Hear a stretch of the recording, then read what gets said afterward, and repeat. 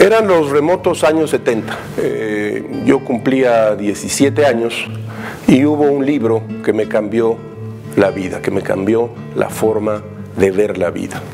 Un poco por lo que dijo Borges, somos los libros que nos han hecho más aptos. Una mujer, una mujer que lee libros, una mujer que se enamora, todo alrededor de ella conspira para que no sea feliz. Pero la literatura le sirve para imaginar una y otra vez mundos distintos, mundos que la lleven a lugares mucho más habitables.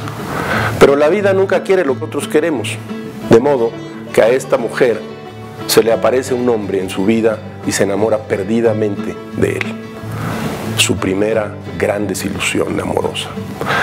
Llega otro hombre y también, y también sufre una, una gran desilusión. Entre tanto, entre tanto, el mundo que la rodea, el mundo político, el mundo social, va cambiando vertiginosamente.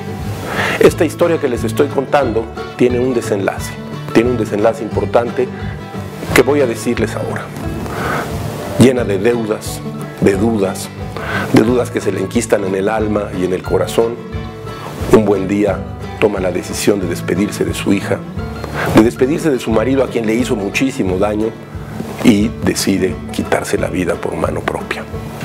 Esta historia cambió, cambió mi vida porque me di cuenta que se podían contar temas comunes y corrientes con maestría, con absoluta eh, maestría a la, hora, a la hora de escribir frase por frase.